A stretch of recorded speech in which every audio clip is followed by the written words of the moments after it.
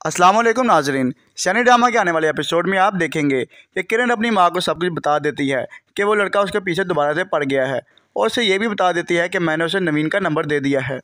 क्योंकि वो मुझे ब्लैकमेल कर रहा था और कह रहा था कि मैं तुम्हारे हस्बैंड को सब कुछ बता दूँगा। मुझे पैसों की अच्छी ज़रूरत है, इसलिए मैं चाहता हूँ कि तुम किसी अच्छी लड़की से मेरी दोस्ती करवा दो, जो अमीर हो और मेरे पैसों की ज़रूरत भी पूरी हो जाए। इसलिए मैंने उसे नवीन का नंबर दे दिया है। अब वो जाने नवीन जाने, जिस पर नुसरत ज़ारा कहती है कि किरण, ये तो तूने बहुत अच्छा किया है। जिस तरह तेरे ससुराल वाले तेरे साथ सलूक कर रहे हैं, अब वो लड़का उसी तरह नवीन के साथ भी सलूक करेगा।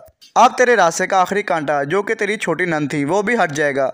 और सारी जायदाद की मालकिन तू अकेली बन जाएगी, जिस पर किरण अपनी माँ को कहती है कि, माँ, ये तो तुम बिल्कुल ठीक कह रही हो, क्योंकि अब दोबारा इस घर में जुहेब तो आने वाला नहीं है, और नवाज़ भी उसे आने नहीं देगी। पर फ़ायदा भी अपने घर जा चुकी है, अब रही ये नवीन तो मैंने इसका भी बंदोबस्त कर दिया है।